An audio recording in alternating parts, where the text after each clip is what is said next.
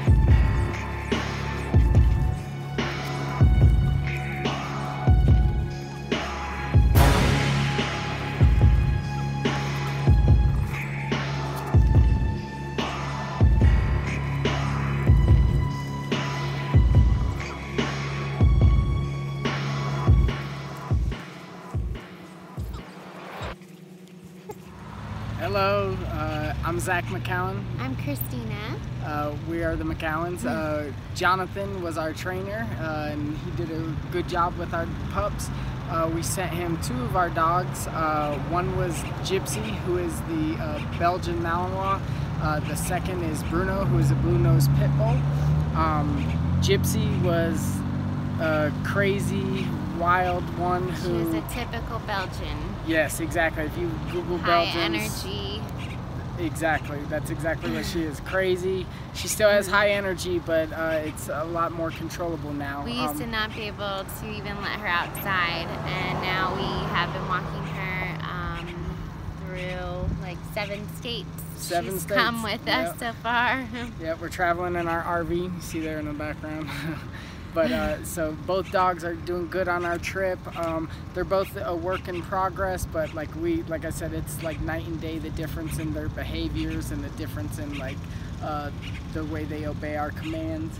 Um, they did a good, they did a really good job. Um, Bruno, um, he's kind of stubborn, so it's good to you know have him put in there just to kind of and we had him trained to be a therapy dog, um, so he's he's really been good with all different ages of people.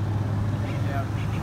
But um, but yeah, uh, we'd say that uh, we'd recommend the services. Yeah, we'd recommend off leash only. Uh, we did the one in Orlando. Yep. And it, it worked out for us. Hopefully, if you're thinking about it, this might help uh, make your decision a little easier. If not, sorry. It's much more convenient now that For our sure. dogs are trained. They're controllable. So, So it's a good investment. yeah, and we feel like you know they, they listen to us now, whereas before uh, we'd have difficulties. Uh, you know, just Gypsy would always to- run away. And Bruno just kind of did what he wanted. But now uh, they they know the commands, and you know if they don't listen, then you know we know the steps to take in order to, to correct their behavior. So overall, is a, a good investment, and we recommend it. Thank you, Jonathan. Thanks, Jonathan. Good job, brother. Appreciate it.